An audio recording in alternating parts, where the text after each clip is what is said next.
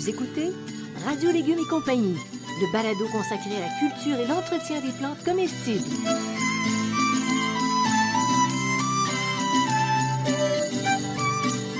Laitue, Basilic, plantation, poivron, bleuets, pollinisation, haricots, arrosage, fraises, insectes ravageurs et maladies, concombres, fertilisation. Radio Légumes et compagnie, le balado qui vous dit tout pour cultiver et entretenir simplement les plantes comestibles de façon naturelle.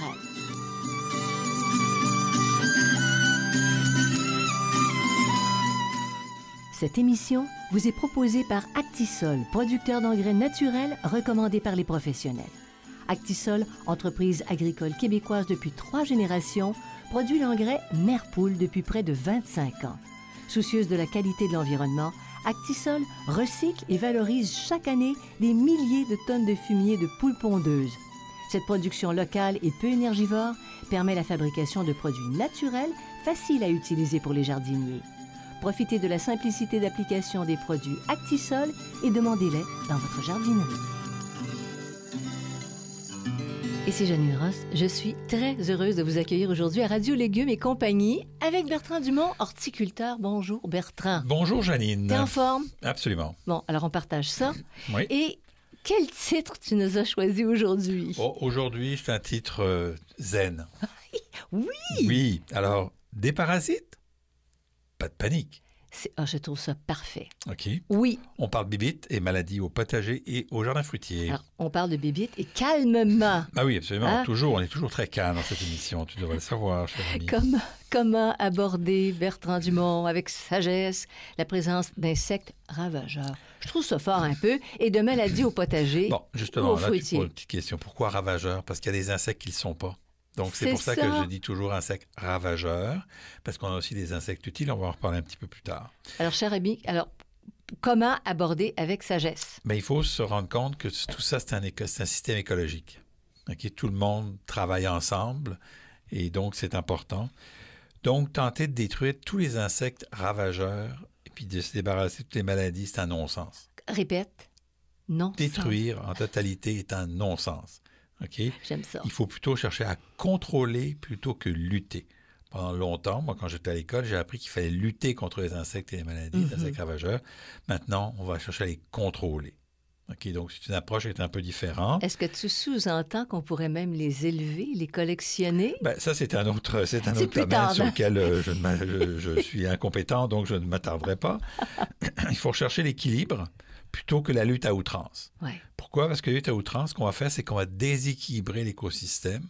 Et là, on va peut-être avoir encore plus de problèmes. Et donc, dans tout ça, ben, il va falloir accepter des légumes et des fruits un petit peu moches. Puis quand ils sont moches, on a juste à bons. couper la partie moche Ouais. qui nous déplaît, puis parfois est même bonne. Exact. Bon, quelle est la meilleure stratégie pour éviter la présence d'insectes ravageurs ou de maladies? Eh bien, c'est la biodiversité. Hein, on le sait maintenant. C'est doux à nos oreilles, hein? Biodiversité. Biodiversité. Bertrand, il faut que je te dise quelque chose. Oui, vas-y, je t'écoute. J'ai vu un article dans un des journaux que nous lisons euh, régulièrement. Et c'était des gens qui étaient en aménagement paysager.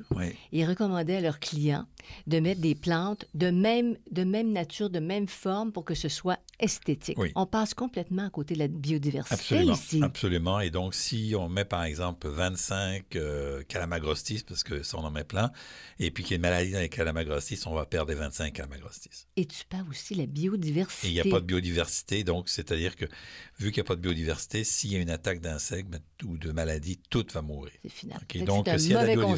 biodiversité, ben, c'est un mauvais conseil. C'est un, conseil esthétique, c'est pas un conseil basé sur. Enfin, c'est en fait, ce qu'on fait de plus en plus dans les aménagements paysagers, malheureusement, à mon avis, c'est de la monoculture. Et ça, c'est vraiment un- un- un- inintéressant parce que là, on va vraiment s'empêcher d'avoir des insectes utiles qui vont nous aider et qui vont nous éviter d'utiliser les pesticides. Alors, comment on crée justement de la biodiversité? Ben, on y a un peu répondu, c'est en multipliant le nombre de variétés de plantes. hein. donc, euh, en associant les plantes, en mélangeant les plantes, OK, au lieu de faire euh, 4-5 grandes, euh, mettons, planches de, tomates, ben, on peut faire une planche de tomates, une planche de laitue, une planche de tomates, une planche de carottes, une planche de... sais, On peut mélanger ça au lieu d'avoir toutes les laitues ou toutes les carottes. On évite la monoculture, ce qui fait qu'on va inviter les bons insectes, les insectes bénéfiques, qu'on appelle aussi les alliés, euh, pour euh, on pourra utiliser donc un hôtel à insectes ou un condo à insectes. Ça, c'est nouveau quand même. Ça fait juste quelques années. Oui. Peut-être on pourrait faire une petite parenthèse. Hôtel à insectes, tu les invites? Comment ça... Les gens peuvent trouver des idées sur, sur Internet, tout ça, pour les construire. Exact, exact. C'est sur, sur Internet qu'on va les construire. Mais je vais vous en donner un facile. Là. Vous prenez une boîte, assez grande. Vous n'avez pas besoin d'un immense... Une boîte de bois. Une, boîte de bois, OK, ouverte de deux côtés. Et dedans, vous y mettez des vieilles branches, de la paille, euh, des vieux pots euh, de terracotta cassés, euh, des choses comme ça, OK.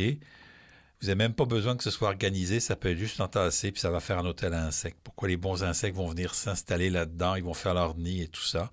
La seule chose auquel il faut faire attention, c'est que si vous avez des écureuils, par exemple, ou des rongeurs, il ben, faut mettre des, euh, du fil de fer pour les empêcher d'accéder. Sans ça, ils vont tout détruire votre, votre système. Bon. Et puis, comment on est certain qu'on attire les bons insectes là-dedans, dans ces hôtels? Euh, c'est la nature qui va le faire. Nous, on ne peut pas décider. On peut, on, peut, décider, mais ça devient extrêmement compliqué. Donc, ça a été étudié, cette histoire-là? Oui, ça a été étudié. C'est une bonne Il y a, il y a des plantes d'hôtel à insectes, mais qui sont très compliquées parce qu'on va dire, avec tel type de, de, matériaux, vous allez attirer tel insecte, puis tel insecte, mais là, ça devient un peu compliqué. Oui, oui. Fait que si vous voulez faire quelque chose de simple, ça va se faire. Mais pour prévenir maintenant la présence des insectes, là, on les a invités, on a invité les bons, mais maintenant prévenir la présence d'insectes qui sont ravageurs et des maladies. Alors, la première chose, c'est de mettre la bonne plante au bon endroit ou d'utiliser le bon terreau. On sait qu'on a des plantes qui sont euh, gourmandes, moyennement gourmandes, peu gourmandes, des plantes qui sont assoiffées, moyennement assoiffées et sobres. Donc, si on, met dans un, dans un sol, puis là, c'est un peu la rotation sur laquelle on va jouer au potager. Si, par exemple, on met des haricots dans un sol qui est extrêmement riche, OK, ben les haricots, ils vont plus avoir d'insectes, de, possibilités d'insectes parce qu'ils sont, ils ont trop, ils ont trop de richesse. Ils veulent pas un sol riche, OK?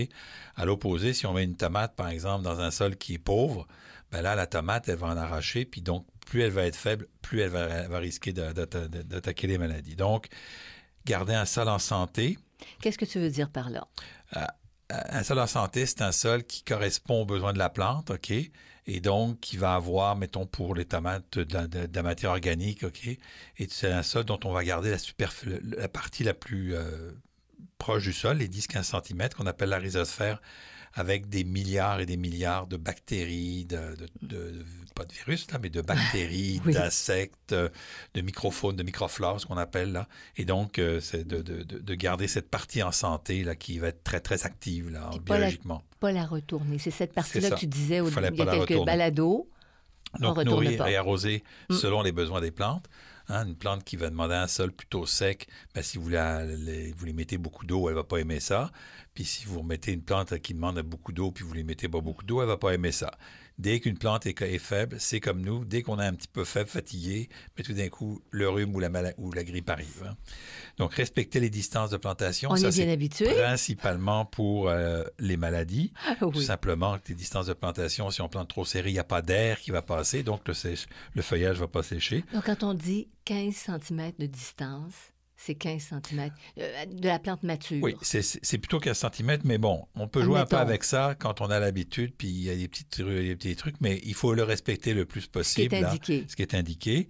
Choisir des variétés résistantes. Hein. il y a des variétés qui sont plus résistantes aux maladies que d'autres. Euh, prévenir l'introduction des problèmes. Euh, si vous achetez vos plants à l'extérieur puis que vous revenez avec des pucerons, ben, vos pucerons, ils vont être dans votre potager toute l'année. La, toute hein. importes. Quand, c'est éviter d'importer des problèmes. Faire obstacle, c'est une autre manière de prévenir. Les toiles flottantes. Maintenant, on a depuis quelques années, depuis 3-4 ans, des toiles anti-insectes. Euh, que je suis en train de tester qui vont assez bien, qui sont plus intéressantes que les toiles flottantes. J'ai utilisé longtemps les toiles flottantes, elles sont plus intéressantes. Et contre d'autres prédateurs mm-hmm. comme les rongeurs et ainsi de suite, on a les filets. Puis pour ceux qui se demanderaient, est-ce que c'est bien compliqué d'installer ça? Des épingles à linge, des petits tuteurs, et ça, et ça, fait le travail. Avec des épingles à linge, c'est magique. Magique, magique. Puis intercepter, puis éloigner avant les dégâts, donc euh, les pièges et les attrape-insectes aussi, là, vont, vont être euh, des, solutions préventives. Donc, on a déjà beaucoup de solutions avant même d'avoir des problèmes. Puis les pièges et attrape-insectes, on trouve ça euh, dans, les, dans, les, jardineries. par exemple, on a les pommes rouges, là, pour les pommiers, on a les les, pièges pour euh, les scarabées japonais. Donc, il y a différentes stratégies. Là. En général, c'est ce qu'on utilise. Alors, quelles sont les stratégies de contrôle? La première, c'est de bien identifier le problème. Parce que si c'est un insecte ou une maladie, c'est pas la, la, même stratégie. OK? Et aussi, parfois, il faut pas oublier que parfois, c'est des carences ou des, ou, des problèmes. C'est-à-dire que si vous, arrosez trop, par exemple, des, des, euh, euh si vous l'arrosez trop, les feuilles vont commencer à jaunir. Donc, c'est pas c'est ni un insecte ni une maladie, c'est un trop d'eau. Mm. Donc, il faut aussi gérer ça. trop d'eau. Puis, la, deuxième affaire, c'est de définir son ampleur. Hein. Est-ce que c'est un problème ah. passager peu important et stable? On regarde ça aller, là, on l'ignore. Mais si, par exemple, on voit que le problème continue à augmenter, qu'on risque de perdre une, grande partie ou la totalité des récoltes, on intervient. Par exemple, cette année sur l'ail, l'année dernière, un petit peu de, de, teigne du poireau, mais pas vraiment de problème, aucune intervention. Cette année, teigne du poireau importante, intervention. Intervention. Donc, euh, on va intervenir dépendant des, des, conditions. Écoutez Radio Légumes et compagnie, le balado consacré à la culture et l'entretien des plantes comestibles.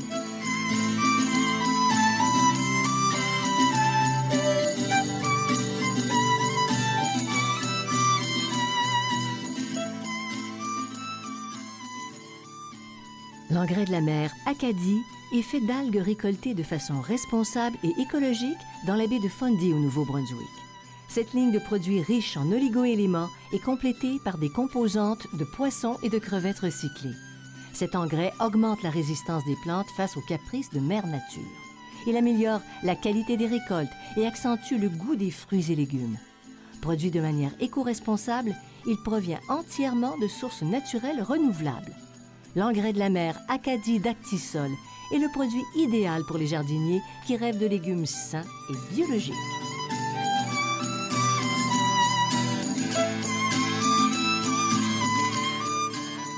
Vous écoutez Radio Légumes et compagnie, le balado consacré à la culture et l'entretien des plantes comestibles.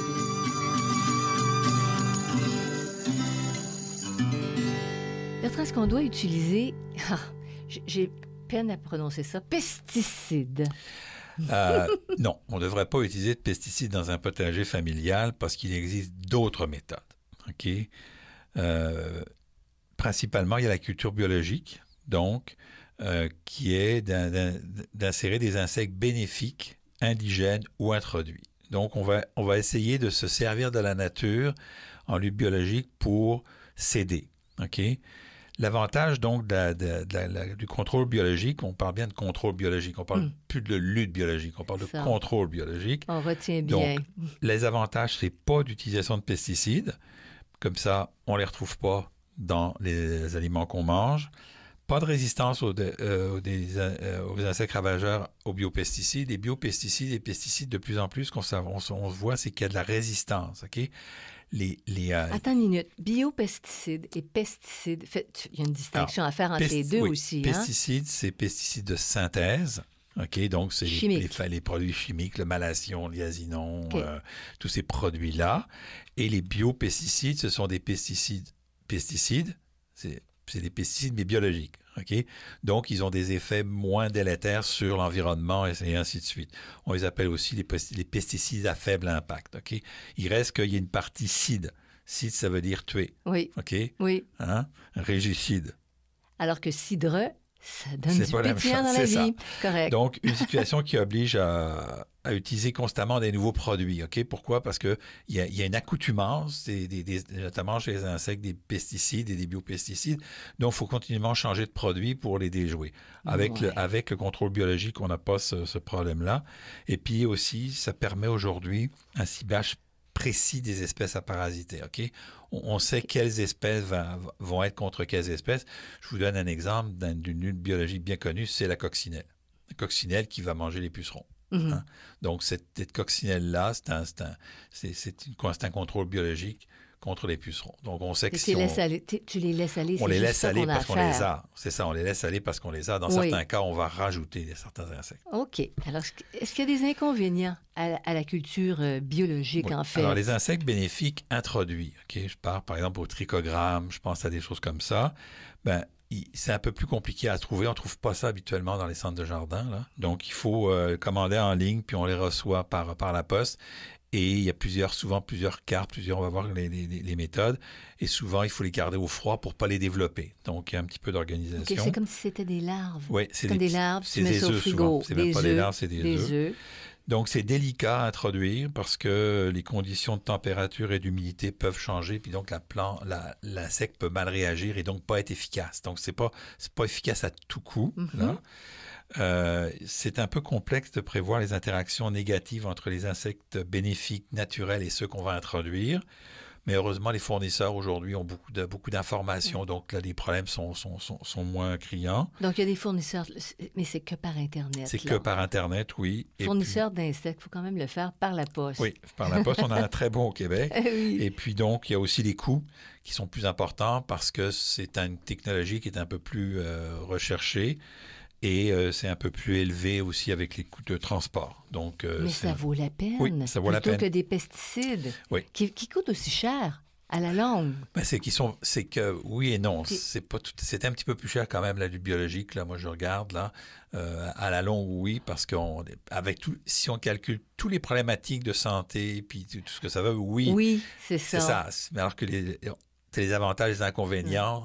Mais à l'achat brut, là, c'est un peu plus cher. un peu plus cher. OK. Mais quand on dit un petit peu plus, c'est quand même acceptable. C'est quand même acceptable. Tu peux vivre selon tes convictions. Puis tu dis, je fais ma part. C'est ça. Bon. C'est ça. Une bouteille, une bouteille de vin en moins, puis plus d'insectes biologiques euh, dans le Une bouteille de, ou de bière, quelques bières de moins, puis tu payes un insecte biologique. Voilà. Alors, comment introduire les insectes bénéfiques? Comment tu fais ça? Alors, manuellement, les insectes sont dans une bouteille, on ouvre la bouteille, on secoue la bouteille. Par exemple, on a des menthes religieuses qu'on peut utiliser, là qu'on utilisait à une époque. Donc, on ouvre la bouteille en sachet. Donc, les, tout simplement, les insectes, souvent c'est des larves à ce moment-là, pardon, sont, sont enfermés dans un, dans un petit sachet sur une carte. Donc, les, allergies. à votre santé. Je bois à santé des allergies. les insectes bénéfiques qui sont installés sur des petits morceaux de carton. Donc, on va, dans, on va les, les, les, plantes, on va planter un petit, un petit morceau de bâton en terre, on va mettre sur le carton, puis en quelques jours, ils vont émerger. En deux, trois jours, ils vont émerger. Il y a aussi des produits qu'on peut utiliser par arrosage ou pulvérisation du sol.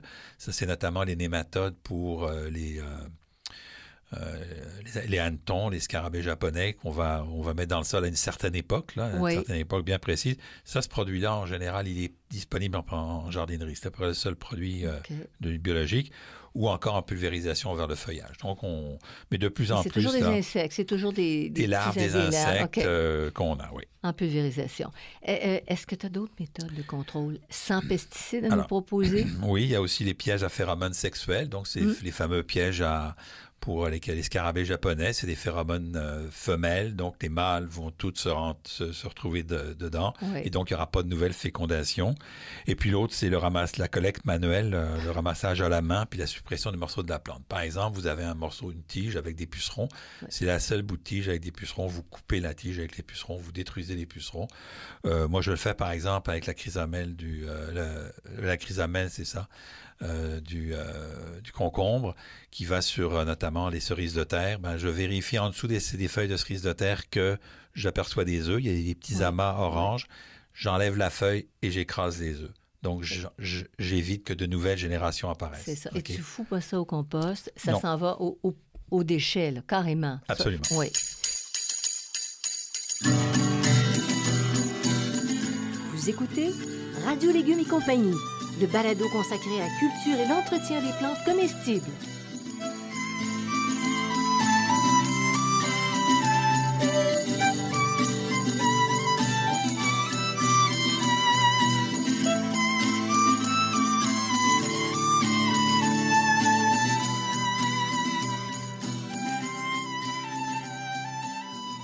Découvrez le dernier livre de Bertrand Dumont, étonnante histoire de légumes et de fines herbes qui vous plonge au cœur de la formidable épopée de l'évolution des plantes comestibles. Ce livre tout à fait original est vendu en format papier en librairie ou sous forme numérique sur le web.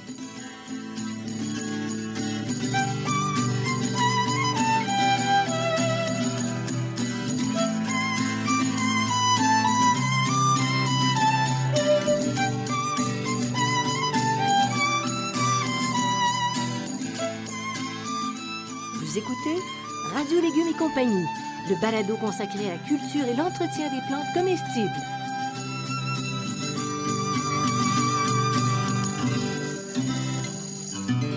Bertrand, si la présence des insectes ravageurs ou des maladies est très importante, est-ce qu'on peut utiliser quand même des pesticides? Alors, c'est là qu'on va utiliser des biopesticides, OK? Mais je veux bien faire, je dis, je dis bien biopesticides ou pesticides à faible impact parce qu'ils ont un effet aussi où est-ce qu'ils vont tuer un certain nombre de choses, Oui. OK?